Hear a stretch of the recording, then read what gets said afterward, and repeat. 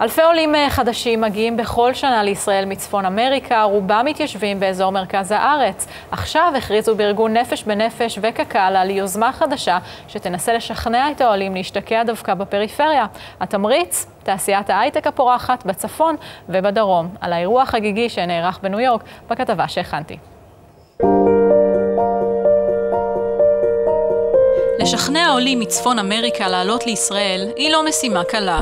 לשכנע אותם לעלות לישראל ולהשתקע בפריפריה היא משימה קשה אף יותר. Part of me makes me think that being, being with other Jews in the Jewish people's homeland is easy, um, but on the other hand, moving to a new country is also hard, so it's kind of both at the same time. מיזם חדש בשם זינוק בעלייה יספר לעולים הפוטנציאליים על תעשיית ההייטק הפורחת בדרום ובצפון, וינסה לשכנע אותם שעלייה לישראל היא לא רק עלייה לתל אביב. מה שאנחנו עושים היום זה בעצם להראות לאנשים פה בניו יורק שיש חיים ויש פריפריה שהיא תוססת, במיוחד בתחום ההייטק. כאן על האירוע של קק"ל ונפש בנפש בניו יורק הגיעו אנשים מכל רחבי ארצות הברית כדי לשמוע על ההזדמנויות התעסוקתיות שיש לאומת הסטארט-אפים לישראל להציע להם. אבל הדוברים שהגיעו לכאן הערב ינסו לשכנע אותם שחברות הייטק וסטארט-אפים יש לא רק בתל אביב אלא גם בצפון, גם בדרום, בבאר שבע, בחיפה וביוקנעם. יש להם באמת יתרון יחסי שהם מכירים את השוק הבינלאומי, שהם דוברים אנגלית, שהם מביאים משהו שהוא מאוד שונה מהאופי והרקע הישראלי, והם צריכים להבין שהם יכולים לשחק על היתרון היחסי הזה. איך באמת משכנעים מישהו לעבור דווקא לבאר שבע? זה מאוד מאוד אה, קשה, אבל זה עובד. כי היום בבאר שבע יש קהילה ענקית של חבר'ה צעירים שמגיעים מכל רחבי ארצות הברית, ורוצים לפתח את הנגב. כל מה שקורה היום בבאר שבע מבחינת סייבר, זה מאוד מושך את האמריקאים.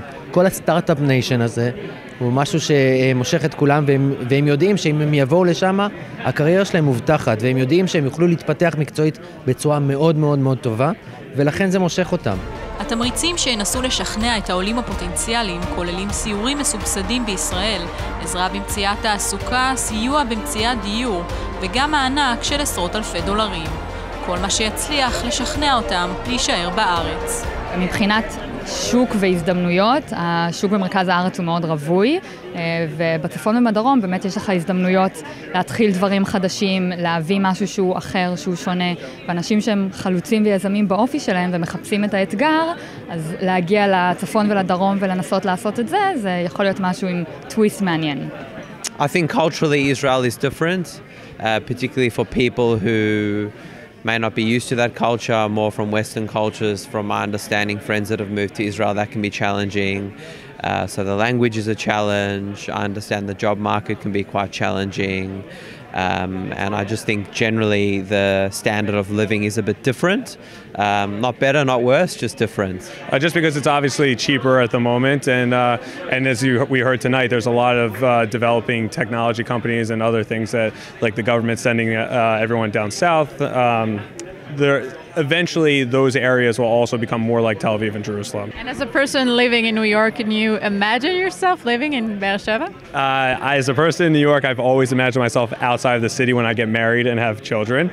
I'm 28 now, as I said, so I would love to live in Tel Aviv or Jerusalem for a few years. And then hopefully, when I get married and have children, I would like to live in Beersheba or somewhere like that.